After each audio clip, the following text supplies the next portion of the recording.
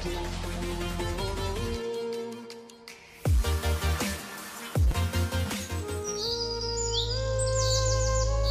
রাতের পর সকাল দেন তিনি কষ্টের পর সুখ দিবেন, ইনশাআল্লাহ। আল্লাহর রহমত থাকলে বান্দার জন্য কঠিন পথটাও নাকি সহজ হয়ে যায়। আসসালামু আলাইকুম everyone, welcome back to Afin blog. কাছে বা দূরে যে যেখান থেকে বসে আমার ব্লগ ভিডিও দেখছেন, আশা করছি সবাই অনেক বেশি ভালো আছেন, সুস্থ আছেন। সবার সুস্থতা কামনা করছি।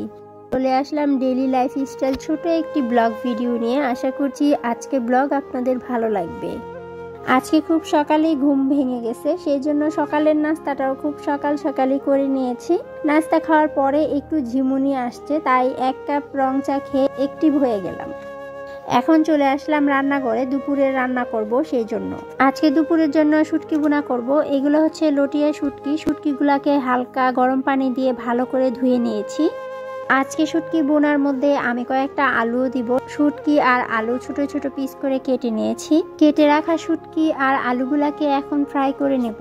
শুটকি ভুনাতে কয়েক টুকরা আলু দিয়ে শুটকির সাথে ভুনা করে নিলে তরকারির স্বাদটা কিন্তু অন্যরকম লাগে। কিটা ফ্রাই করা হয়ে গেছে, এখন আলুটাকে হালকা করে ফ্রাই করে নেব। কড়াইতে পরিমাণ মতো তেল, সাথে পেঁয়াজ কুচি দিয়ে একটু ভেজে নিয়েছি। এখন আদা রসুন বাটা দিয়ে পেঁয়াজের সাথে আদা রসুন বাটাটাকে একটু ভেজে নেব। হলুদ, মরিচ, ধনিয়া জিরার গুঁড়া দেওয়ার আগে অল্প একটু পানি দিয়ে সবগুলা গুঁড়া মশলা দিয়ে তারপর মশলাটাকে কিছুক্ষণের জন্য কষিয়ে নিয়েছিলাম কষানো মশলার উপরে আগে থেকে ফ্রাই করা শুটকি, আলু দিয়ে একটু নেড়েচেড়ে ভেজে নিয়েছি পরিমাণ মতো ঝোল দিয়ে নেড়েচেড়ে ঢাকনা দিয়ে ঢেকে শুটকিটাকে রান্না করব। শুটকি আলুটা কিন্তু এতক্ষণে সেদ্ধ হয়ে গেছে, আর পানি যতটুকু দিয়েছিলাম ততটুকু পানিও শুকায় গেছে। এখন ধনিয়া পাতা দিয়ে শুটকির সাথে নেড়েচেড়ে মিশিয়ে দুই মিনিটের মতো রান্না করব, তারপর শুটকিটাকে নামিয়ে ফেলব। আমাদের জীবনে কিছু প্রিয় মানুষ আছে যাদের সব কিছু আমাদের ভালো লাগে, আবার আমাদের জীবনেও কিছু অপ্রিয় মানুষও থাকে যাদের ভালো কিছু আমাদের ভালো লাগে না। যাই হোক, ওসব কথা বাদ দিই। এই যে শুটকি রান্নাটা করলাম, এই শুটকি রান্নাটা আমার একটা প্রিয় মানুষের কাছে শিখেছিলাম। উনি এখন এই দুনিয়াতে নাই, চলে গেছে না ফেরার দেশে। ওনার জন্য আমার অন্তরের অন্তঃস্থল থেকে অনেক সম্মান আর অনেক দোয়া রইল। আল্লাহ যেন ওনাকে জান্নাতবাসী করে। আমিন। ছোটবেলা থেকে আমার দাদি, নানি, আম্মা, তারপর বড় আপুদের কাছে শুনেছিলাম, যদি থাকে নসিবে আপনা আপনি আসিবে। আবার অনেকে বলতো বগন্তের কিল নাকি বাপেও কিলায়? ছোটবেলা থেকেই না, এই কথাগুলো আমি খুব বেশি মানতাম, আর আমার জীবনে আমি এগুলার রেজাল্টও ভালোই পাইছি। আমি হচ্ছে জায়েদ বাবুদের বাসায় বেড়াতে আসছি। সকালে যখন রান্না করছিলাম, রান্না করার জন্য সবকিছু কুটে, ধুয়ে, রান্না চুলায় বসাই দিছি। তখন হচ্ছে বাবি আমাকে আজকে দুপুরে খাওয়ার জন্য দাওয়াত করেছে তাদের বাসায়। বাবি খিচুড়ি আর গরু মাংস রান্না করছে। বাবিকে বলছিলাম, ভাবি, আমি তো রান্না করে ফেলছি আজকে সকাল সকাল। অন্য একদিন খাব, কিন্তু বাবি তো নাছর বান্দা খাইয়ে ছাড়বে না। যাই হোক, পরে আমার খাবার আমি বাসায় রেখে তারপর বাবিদের বাসায় খেতে আসছিলাম। দুপুরবেলা খাওয়া দাওয়া করার করার পরে প্রতিদিনের মতো একটু রেস্ট নিয়েছি। এটা ছিল বিকেলবেলার ভিডিও বিকেলবেলা আমার ভাগ্নির সাথে বের হয়েছিলাম, কয়েকটা বাসা দেখব। খুব তাড়াতাড়ি আমার প্রিয় বাসাটা ছেড়ে চলে যাব নতুন একটা বাসায়। আমি যেহেতু আমার ডেলি লাইফ স্টাইল ব্লগগুলো আপনাদের সাথে শেয়ার করি, হুটহাট করে নতুন একটা বাসার ব্লগ আপনাদের সাথে শেয়ার করতে গেলে আপনাদের কাছে এলোমেলো লাগবে প্লাস আমার কাছেও এলোমেলো লাগবে। এই জন্য আপনাদের সাথে এই ছোট ছোট ব্লগ ভিডিওগুলো শেয়ার করছি, যাতে আপনাদের বুঝতে সমস্যা না হয় প্লাস আমারও বুঝাইতে সমস্যা না হয়। বর্তমানে আমি যে বাসাটাতে আছি বা যে বাসাটা আমি ছেড়ে দিব কয়েকদিনের মধ্যে, এই বাসাটাতে গত পাঁচ বছরের অনেক স্মৃতি জড়িয়ে আছে। অনেক ভালোবাসা দিয়ে এই বাসাটাকে আমি সাজিয়েছিলাম। এই বাসাটা ছেড়ে গিয়ে আবার অন্য একটা নতুন পরিবেশে নিজেকে সামলিয়ে নিতে অনেক দিন লেগে যাবে আমার। এটা ভাবলে একটু আবেগপ্রবণ হয়ে যাই। কিছুই করার নাই, এটাই হচ্ছে বাস্তবতা। এই মুহূর্তে আব্দুল হালিম সাহেবের একটা গান মনে পড়ছে আমার। পরের জায়গা, পরের জমি, ঘর বানাইয়া আমি রই। আমি তো সেই ঘরের মালিক নই। তাই না? এই অস্থায়ী দুনিয়াতে আমরা সবাই বাড়াটিয়া আমাদের উপরওয়ালাই হচ্ছে আসল বাড়িওয়ালা।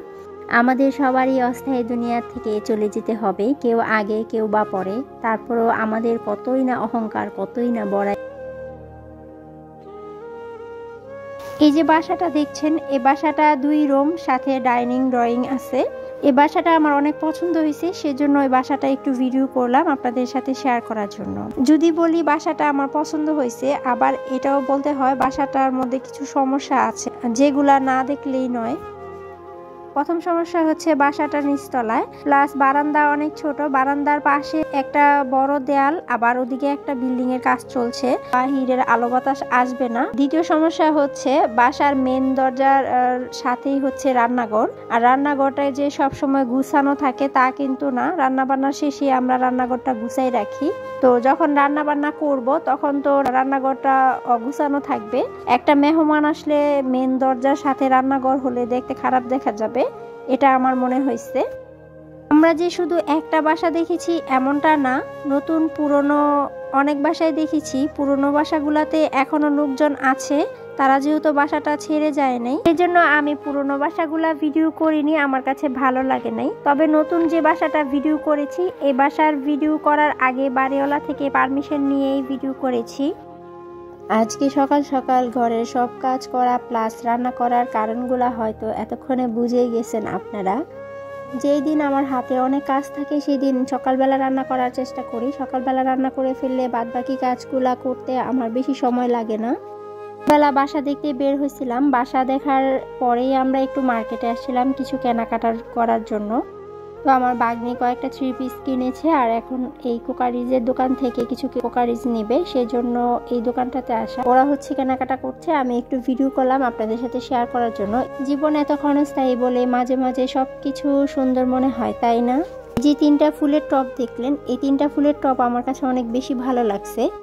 যারা আমার মতো ডিনার সেট পছন্দ করেন, তাদের কাছে এই যে ব্ল্যাক কালারের ডিনার সেটটা দেখছেন, এই ডিনার সেটটা কিন্তু অনেক বেশি পছন্দ হবে। এখানে সবগুলো ডিনার সেট আর ফুলের টপ আমার কাছে অনেক বেশি ভালো লাগছে। এই যে ল্যাম্পশেডটা দেখছেন, এই ল্যাম্পশেডটা কিন্তু অনেক বেশি সুন্দর।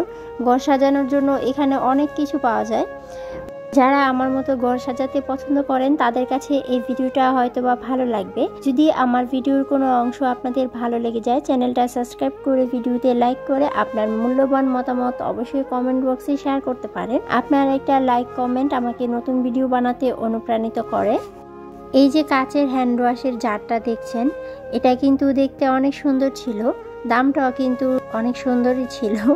কিছুদিন আগে আমার বাগনের কাছে শুনেছিলাম, ওর চারটা কাচের সার্ভিং বোল কেনার অনেক শখ। কিনবে কিনবে করে কেনা হচ্ছিল না, ওরাও খুব তাড়াতাড়ি বাসা চেঞ্জ করেছে। তো সব শেষে আলহামদুলিল্লাহ ওর একটা শখ পূরণ হলো। আমার ভাগ্নি যে সার্ভিং বোলের সেটটা কিনেছে, এটা কিন্তু ওভেন প্রুফ ছিল। সার্ভিং বোল সেটটা দেখতে অনেক সুন্দর ছিল, প্লাস অনেক ভারীও ছিল। যাই হোক, আমাদের কেনাকাটা শেষ হয়ে গেছে, এখন আমরা বাসায় চলে যাব। আমার ভিডিওর মাঝখানে আমি একটু আবেগপ্রবণ হয়ে কথা বলছিলাম, আপনারা কিছু মনে করবেন না। আসলে বর্তমানে যে বাসাটাতে আছি, এই বাসাটা আমার অনেক পছন্দের একটা বাসা ছিল। কিছু সমস্যার কারণে এই বাসাটা আমাদের চেঞ্জ করতে হচ্ছে। এই বাসার আশেপাশের মানুষগুলোর সাথে আমার খুব ভালো বন্ডিং হয়েছিল। তাদেরকে ছেড়ে কোথায় যাব একটা অপরিচিত জায়গায় এই জন্য একটু আবেগপ্রবণ হয়ে গিয়েছিলাম। যাই হোক, আল্লাহ যা করে ভালোর জন্যই করে হয়তো বা আমার জন্য আরও ভালো কিছু অপেক্ষা করছে।